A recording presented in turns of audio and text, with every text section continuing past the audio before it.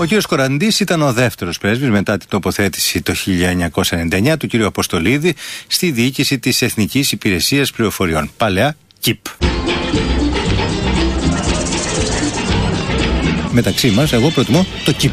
Διότι το κράτος είναι αυτό που πρέπει να κάνει μια δουλειά και πρέπει να την κάνει και καλά. Κρατική Υπηρεσία Πληροφοριών, ΚΙΠ. Κρατική Υπηρεσία Πληροφοριών, ΚΙΠ. Και ας πάψουμε να φοβόμαστε τον παλιό κακό της αυτό, της αστυνομίας μας, της ΚΙΠ μας. Que es muchas maracas with new links fever.